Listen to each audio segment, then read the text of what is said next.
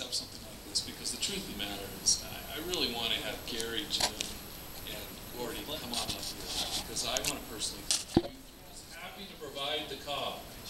But it was really these three guys, when we got together and said, how do we make this work? And they said, just, Dave, we won't get in your way. Do whatever you want. And, and that, that was the success right there. And so it's really these three guys that really have helped really us get this whole thing kind of going and. I really appreciate it. I just want to, I want to recognize